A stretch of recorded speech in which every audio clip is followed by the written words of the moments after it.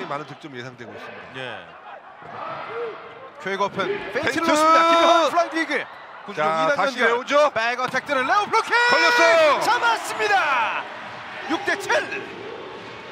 손해보험 쪽으로 기회가 조금씩 오는데 야 여기서 범실이 나오면 안 되는 LIG 손해보험입니다. 그렇습니다.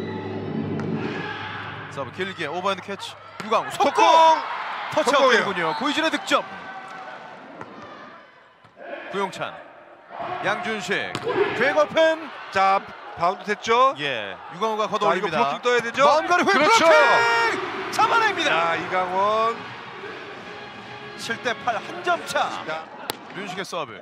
구용찬. 약간 길어요. 양준식 백에 터치아웃. 아 이강원이죠? 8대 10. 잘 들어갑니다. 레오의 시간차 터치아웃. 성공이에요.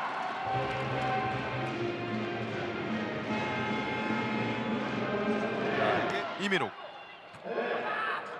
양준식 다시 한번 줍니다. quick open. 들어왔어요 손현종 대각선. 자신감을 바로 회복하고 있는 손현종 선수입니다. 오늘 대체적으로 에드가는 레오급의 활약을 해주던 경기였는데요. 과연 서브 또한 자! 그렇게 해주고 있습니다.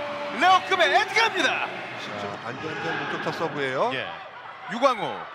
레오의 시간차. 아, 레오 선수의 오늘 경기 시간차 성공률이 93%. 서브는 손현종 맞춰 때렸습니다. 유광우 속공. 야 터치아웃 되면서. 결국 오늘 천신만고 끝에 삼성화재 블루팡스 삼성화재에게 이번 시즌 연패는 없습니다.